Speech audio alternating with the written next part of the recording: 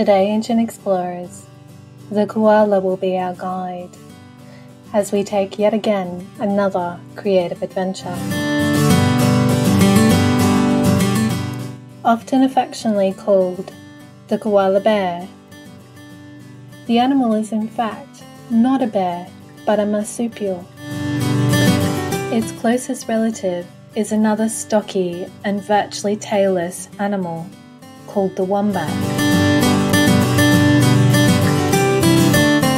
Native to Australia, the large animal lives high in the gum trees. Koalas are slow and love to sleep. Their sloth like nature is because of their diet, which consists solely of eucalyptus leaves, and these are hard to digest. As the leaves are usually moist, the animal doesn't often need to drink water. Koalas are often up with the owls. They are nocturnal, meaning they are mostly active at night. On the hunt for leaves, the animal will move up and down the trees.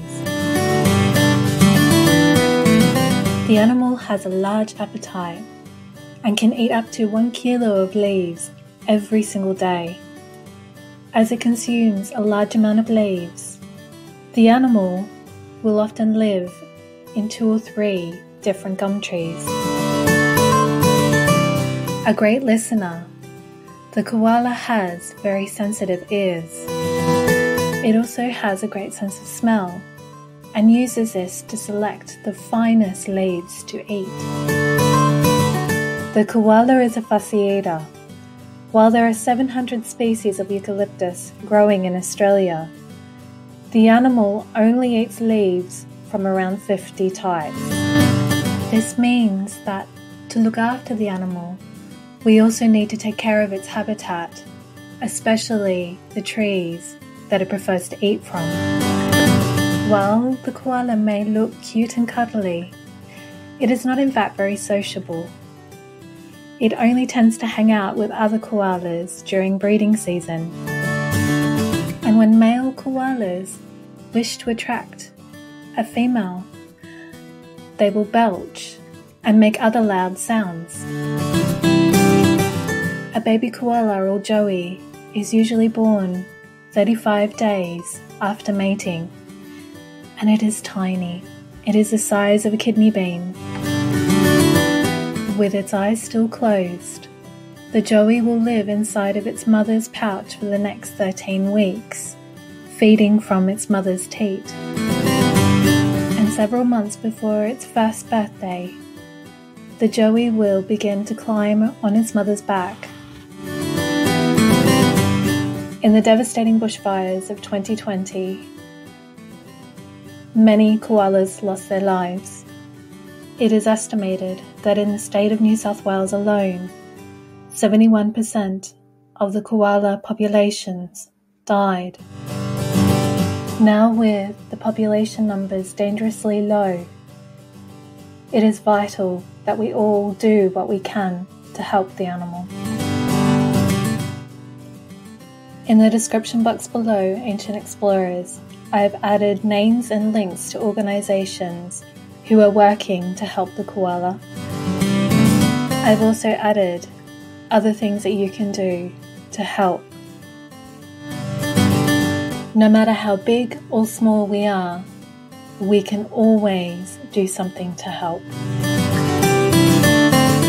If you would like to learn more about the koala, also make sure that you check out Bush Heritage Australia's website. Now, in celebration of this beautiful animal, I invite you to create art with me. During this activity, I will use the colouring in sheet I designed especially for it. You can also download it for free from my website. All of my details are in the description box below. When I was planning this creative adventure for you, I had it in my mind that we would paint the koala in watercolour. The adventure soon changed direction, and what I'm offering you today is a mixed media activity. As I was reminded this week, it is important to listen to your intuition, play, follow wonder, and have fun. It is also important to be kind and patient with yourself while creating. So now, let us begin our creative adventure with the koala as our guide. For this mixed media activity, we'll be using a range of materials. For the koala, I will be using heavy weighted watercolor paper, so paper that is heavier than 180 GSM, watercolor paint. You can paint the koala whatever color you'd like. I will be using neutral tint. You will also need a round tip paintbrush. Paper towel will also come in handy, and of course, you will need a jar of clean water. And then to create the background, you will need acrylic paint. I will be using green, white, and brown paint, a roller, and also scissors. You are more than welcome to draw the koala any way that you wish. You may like to consult reference photos. There are some incredible photos on Unsplash. If you would like to trace my colouring in page, as I do in this video, you will also need tracing or baking paper. We will begin first by tracing the koala. Place a sheet of tracing or baking paper over the koala and then with a pencil, trace the drawing.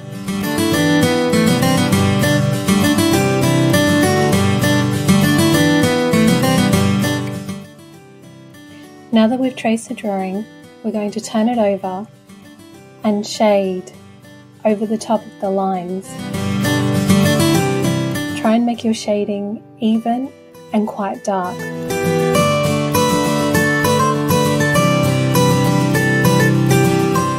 The next stage involves transferring the koala to watercolour paper.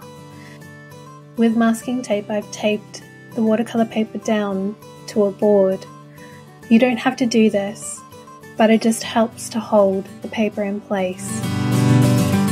Now place the tracing the right way up and with a pencil once again trace the lines.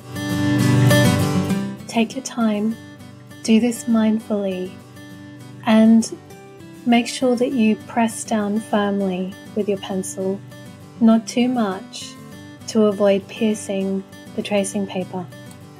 Once you've drawn all of the lines, lift the tracing paper up. You will notice that the transfer is light and if you need to, go over the lines with your pencil. We will now paint the first layer with watercolour paint. With your paintbrush, apply a clean layer of water in all parts of the head except for the nose, chin, and a small area around the eye. Add a small amount of water to your chosen watercolor paint. I'm using neutral tint and that is because it isn't quite grey, it has a slight blue tone to it, which I really like. We want this first layer to be light, so only add a small amount of paint to the water. Then when you're ready, load your brush and apply the light layer to the koala's head.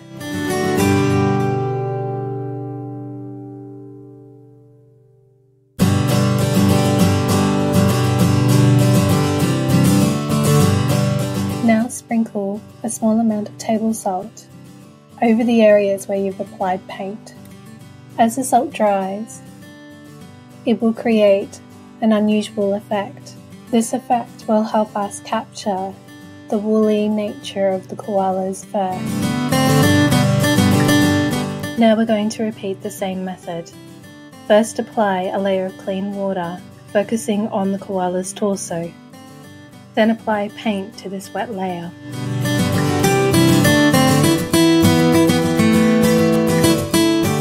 As you will notice, I'm allowing the contours of the koala to guide my brush.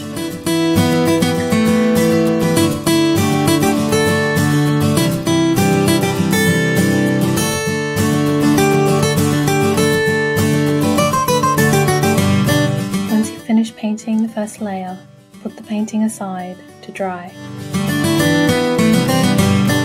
Once the painting is completely dry, it is time to apply the second layer. During this second application, I'm focusing on certain areas, such as the darker areas around the ears, under the eye, and under the chin of the koala.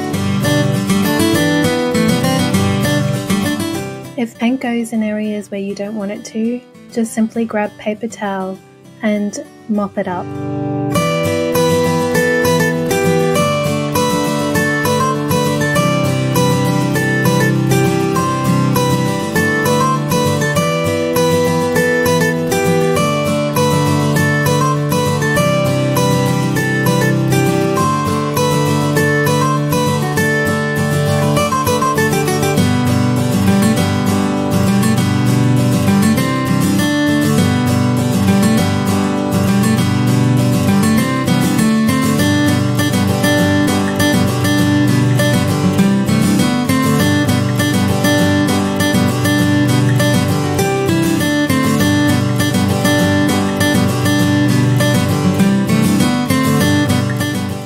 Turning to the nose, we repeat the same sequence. First add a layer of clean water and then paint.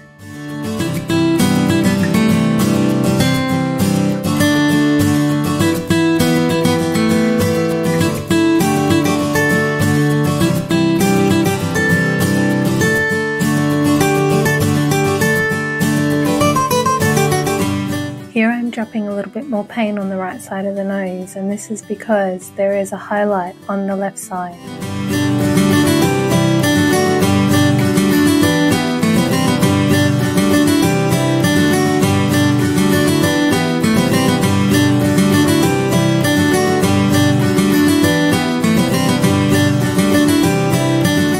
Then finally, with a gentle and even stroke, paint the eye.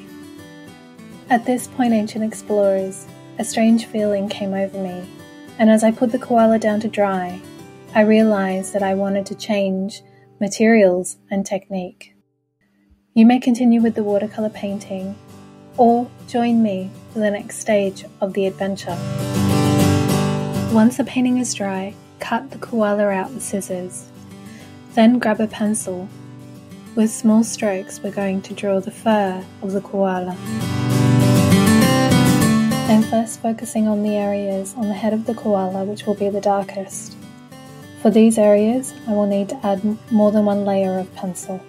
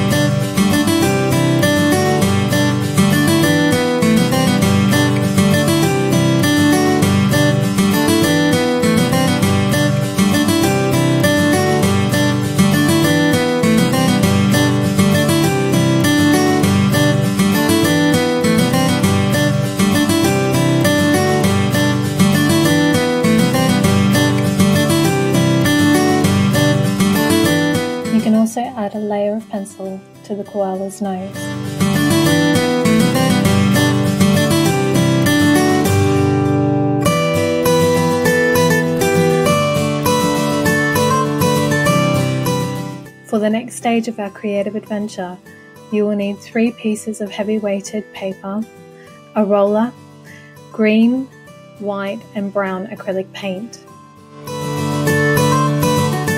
We will now paint two sheets of paper with the green and white acrylic paint. Dab small amounts of the paint onto the sheet and then with your roller, spread them out across it.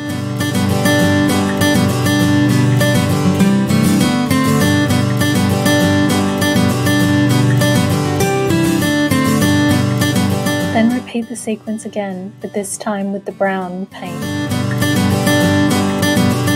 Then put the sheets aside to dry. Once the paper is dry, choose one of the green sheets of paper that you've painted. That will be your background for the scene. Next, take your brown sheet of paper and cut two long lengths. These will represent the trunks of the gum tree.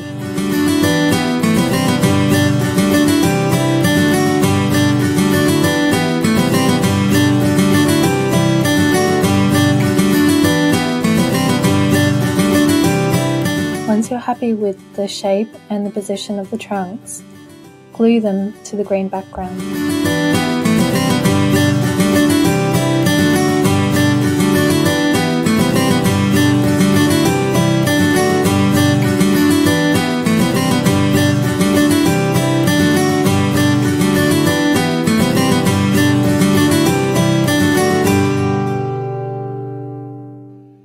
Glue the koala down.